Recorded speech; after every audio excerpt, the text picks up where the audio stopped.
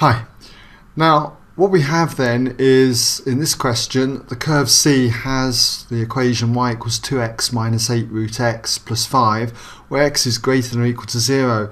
And we're told that the tangent to the curve C at the point Q is parallel to the line with equation 2x minus 3y plus 18 equals 0. And we've got to find out the coordinates of the point Q. So if you'd like to uh, give this a go, just uh, pause the video, come back when ready, and you can check your work solution with mine. Okay, welcome back if you had a go. So first of all, let's just get an idea about what we're going to do with this problem. Essentially, okay, we've got this curve C, and it doesn't really matter at this stage whether we know what the curve C looks like or not. I'm just going to draw just some squiggly line, okay? Just something like that. We'll pretend that this is the curve C. And we've got this line here. Again, it doesn't really matter what that line looks like at the moment, okay? I'm just going to draw a line something like this, okay? Now, we've got to find the point Q on our curve C, which is parallel to the tangent that is, is parallel to this line. We're just looking at this sketch, it's going to be say that point there maybe, okay, if we just put that there, then you can see we'd have a tangent running through here that is parallel to that line. Now, what I'm going to be doing then is I'm going to look at the gradient of this line, okay, we can work out the gradient from here, I'm going to work out that gradient, then I know that it must be the same as the gradient of the tangent because they're parallel. And the gradient of the tangent is given by dy by dx, okay, of the curve. And then I'm going to equate that gradient to the gradient we get with dy dx, okay? And you should be able to find out the x coordinate at this point here, which we're calling q, okay? So I hope you got that, okay, but uh, that's essentially where I'm going to go. We'll see how it unfolds in a moment. So that's my uh, thinking, okay, on this problem. This sketch here is not necessarily going to be accurate. Just giving me an idea, okay, of where I'm going.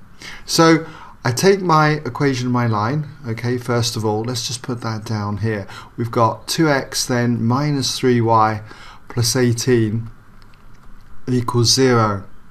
And to get the gradient for this, I'm going to rearrange it in the form y equals mx plus c. So I'm going to add 3y to both sides.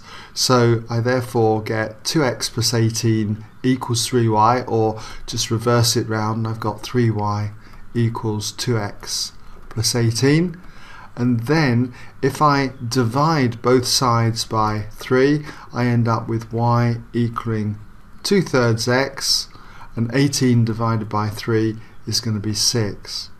So I can see that when I compare this to y equals mx plus c, m being the gradient, that gradient is going to be 2 thirds. So let's just put therefore the gradient okay, equals 2 thirds. A positive gradient, so that means that this line is sloping in the positive sense. Okay, this gradient then has got to be the same as the gradient at this point Q on the curve.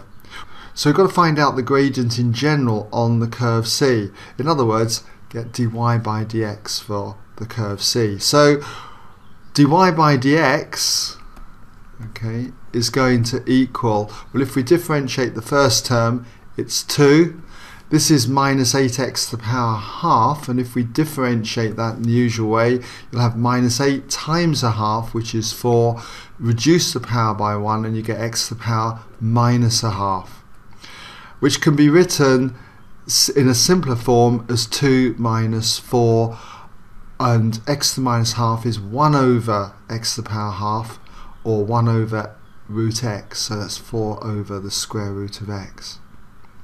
So, that means that we can now say because the lines are parallel, the gradients must be the same at Q. Okay, so therefore, or let's just say when dy by dx equals 2 thirds.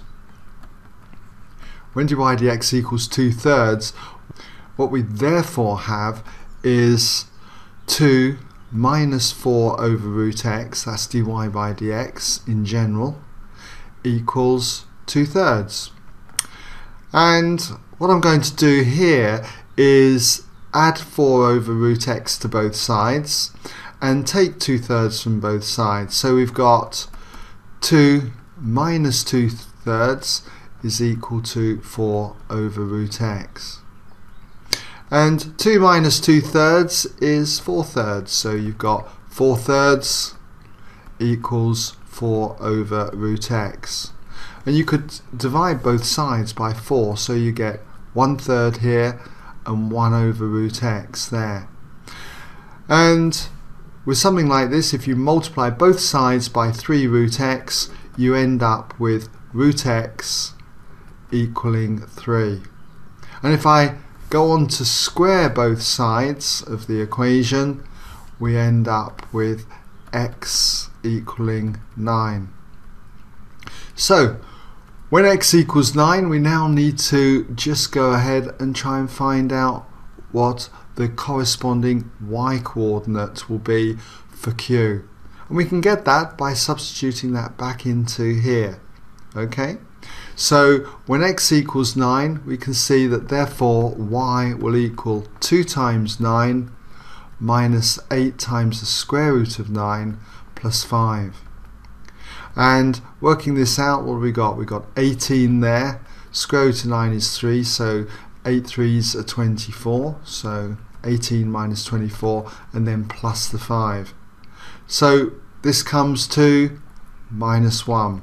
So in summary, we're asked to find the coordinates of Q, so therefore Q has coordinates, an x coordinate of 9, and the corresponding y coordinate turns out to be minus 1. So my sketch here wasn't correct, okay? Certainly Q isn't at the point 9 minus 1. But did it matter?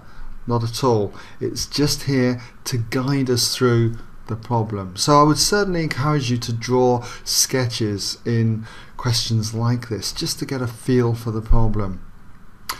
Okay, hope you've been able to follow that anyway. And that brings us now to the end of this particular part.